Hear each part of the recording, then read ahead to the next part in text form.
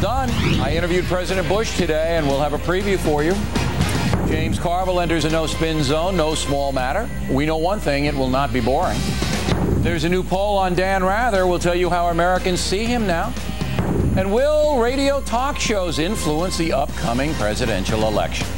Caution, you're about to enter a no spin zone. Factor begins right now.